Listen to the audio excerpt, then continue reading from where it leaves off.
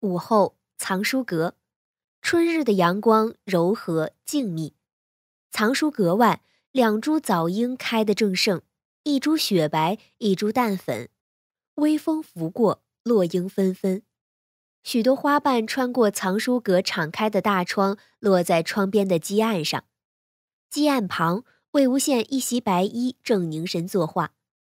蓝忘机坐在藏书阁中间的那几张桌案旁。同样是一袭白衣，手持一只硬毫，面对着素白的蜀轩。魏无羡昨夜看到蓝忘机那些年给自己画的小像，便有了这个念头。午后，他在净室翻箱倒柜，找了两件当年蓝氏听学时穿过的白衫，一件递给蓝忘机，一件自己换上。作为蓝氏家主，蓝忘机的日常穿着不是蓝色就是青色。这蓝氏小辈和听学弟子穿的白衫，他已经多年没有穿过了。蓝忘机一开始并不知道魏无羡这是要玩什么花样，但看他一脸的神秘，一脸的兴奋，无论如何也不想扫了他的兴致，便问也不问的换上了。换好了衣服，魏无羡就拉着蓝忘机直奔藏书阁。推开藏书阁厚重的大门，魏无羡把蓝忘机按在中间的基案前坐下。翻出熟宣铺好，从笔架上选了支硬毫，塞到蓝忘机手里。想让我画什么？蓝忘机按耐住心头汹涌的情愫，他基本上已经明白了魏无羡的意图，只是想要再确认一下。你说呢？画我们。蓝忘机的语气其实很肯定。嗯，画在一张纸上。魏无羡的眼睛亮亮的。你呢？蓝忘机问：“我也画，我还是坐在那里。”魏无羡指着窗边那张积案，很多年前，他就是在那张案上耐着性子抄了一百零一遍的李泽篇，也是在那张案上为他见过的最俊美的少年画了一幅小像。蓝湛，当初我给你画那幅小像时，是想把我自己也画上的，可是我不敢，我怕你嫌弃我。你都不与旁人接触，哪会愿意和旁人一起出现在同一幅画里？魏无羡现在说起来还有些不平之意。真的，你当时真的想过？蓝忘机一脸的难以置信。真的，可是没那个胆量，我怕你生气。后来我只画了你一个，你都说我无聊至极。我就想，幸好我没把自己也画进去。否则，你肯定直接就给我撕了。是我口是心非，我当时其实特别高兴。蓝忘机满心都是悔意。没关系，现在我知道了，所以我要了却当年的心愿，把咱们两个画在同一幅画里。不仅我要画，你也要画。你就坐在这里画，我还是坐在那边。你画一幅，我也画一幅。一会儿再看看咱俩各画的是什么场景，如何？魏无羡简直有些迫不及待。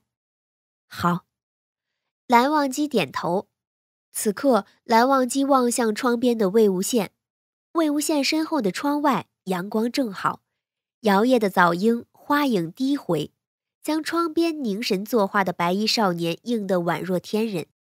蓝忘机面对一张素白，迟迟不能下笔，画什么？怎么画？如何画得进这样一个人？如何画得出自己的一片心？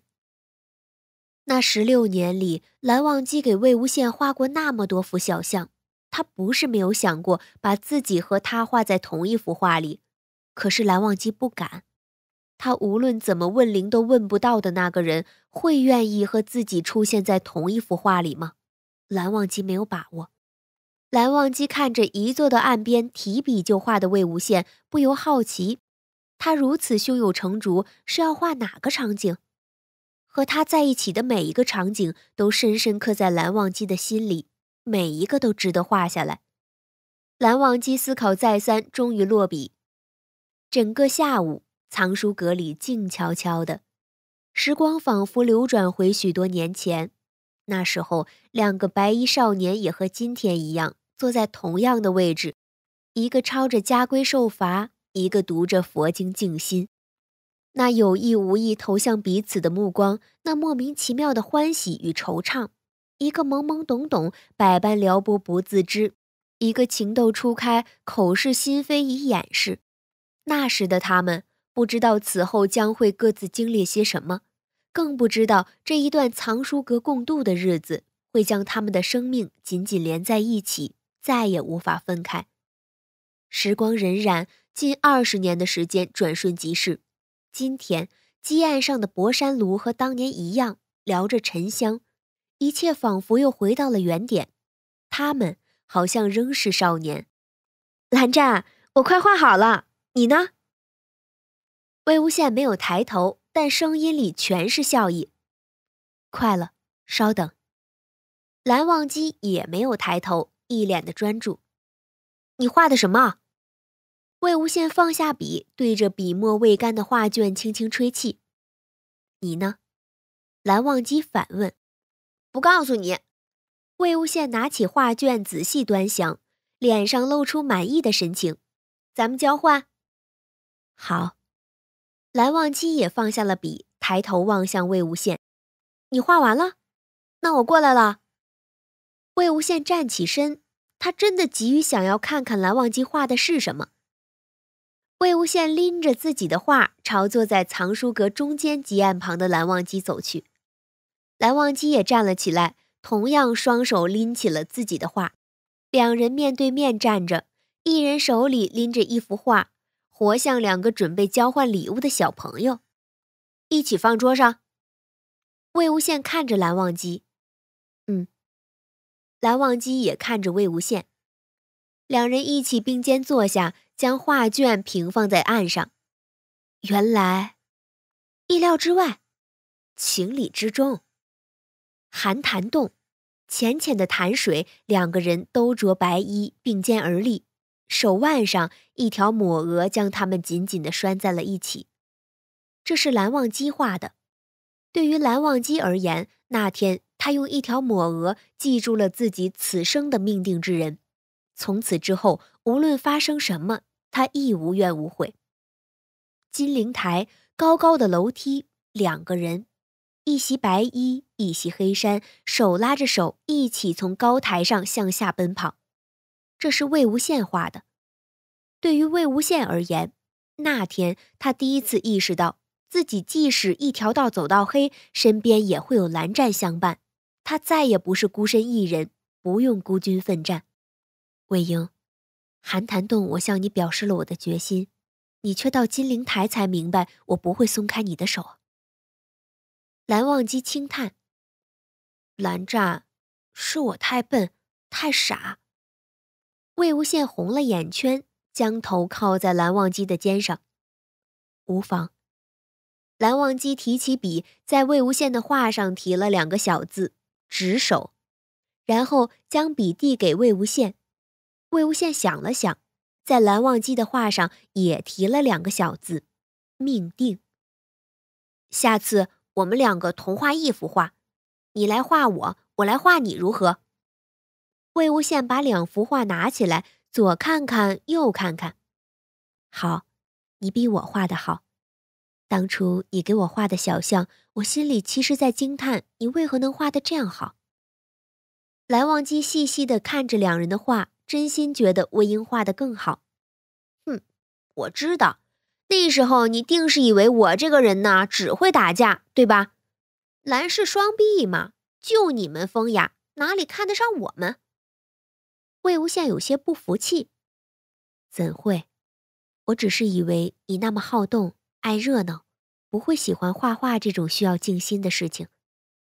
蓝忘机矢口否认，但他也必须承认。当初那幅小象，魏无羡的画工确实让自己始料未及。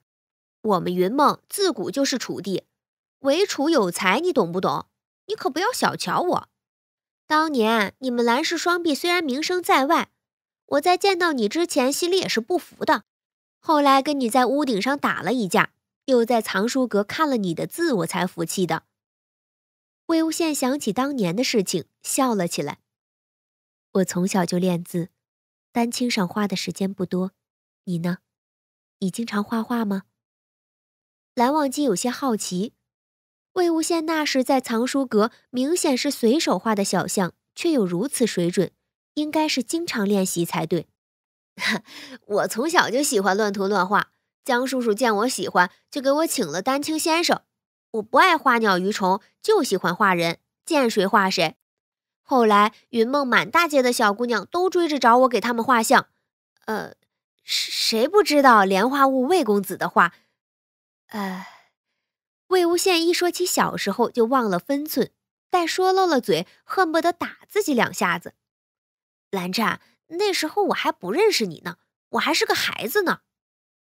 魏无羡看着蓝忘机的脸色，试图挽回，所以江澄才说：“云梦随便哪个姑娘都想嫁给江氏的魏公子，对吗？”蓝忘机想起那次莲花坞江澄醉酒后的话，心里酸得很。